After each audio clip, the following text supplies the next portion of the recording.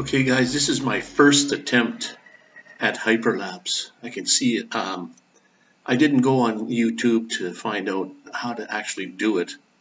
So it was sitting at waypoint 1. I did the waypoint to waypoint uh, hyperlapse, but it was sitting at waypoint 1, which is where I am, more or less.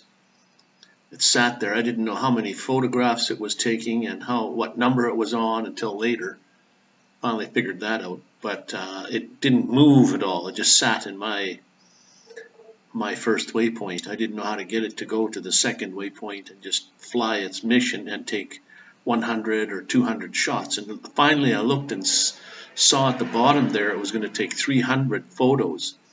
And I think I stopped it at like just about 200 when it finally went down uh, the, the other side street there. So I'm gonna this I'm gonna look this up to find out how to do this properly. And this was my, like I said, my first attempt. Don't laugh. um, my second attempt will be much, much better. And uh, I did meet some good friends at the end here. You'll see uh, them. I don't remember their names.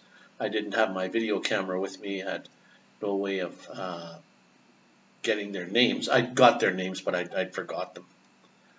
So guys, thanks for watching and stay tuned for the next hyperlapse, which uh, I think I'll be knowing what I'm doing then. be much better. All right, guys. Have a look and see what I got.